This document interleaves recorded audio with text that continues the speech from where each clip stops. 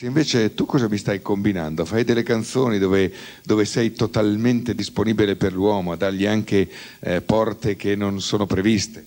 La decima porta, sì. Apollinare aveva scritto, ma io comunque no, la, la, le nove porte, una poesia sulle nove porte della sua donna e ti lascio immaginare quali potessero essere le nove porte. E così ho immaginato una decima porta. Cioè, ma ce ne sono così tante? Eh sì, prova un po' a contare. Uno, due, tre, quattro, cinque, sei e poi il resto non te lo dico però, eh. Come, scusa, conti il na, allora, uno, due, uno, due. Quattro, cinque. Cosa tre, quattro? Dov'è tre, quattro lì? la bocca, il naso, la bocca, gli occhi, le orecchie e dopo eh, non si può dire.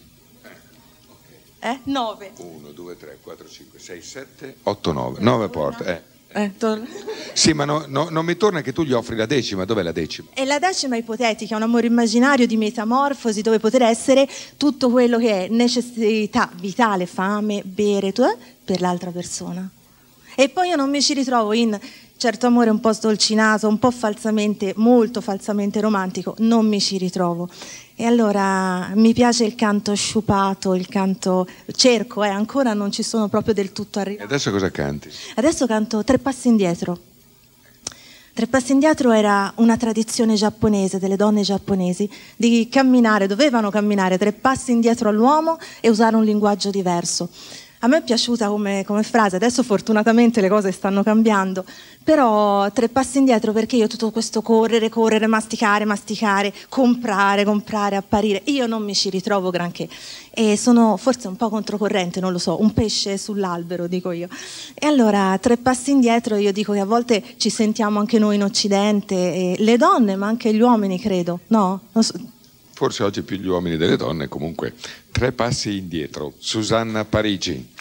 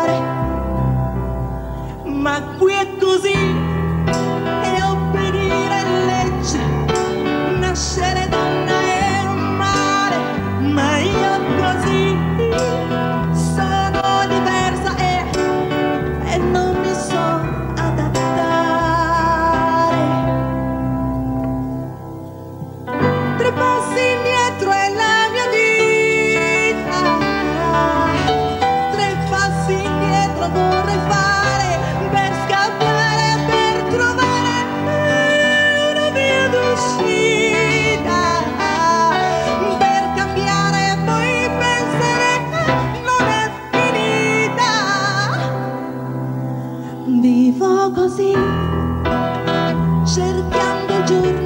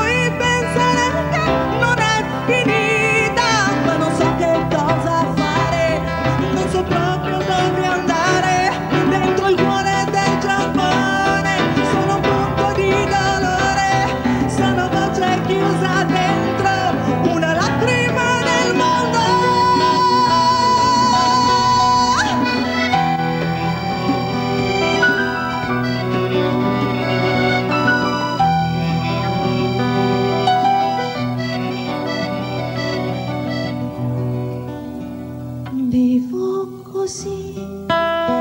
Faccio l'amore ma non riesco mai a volare.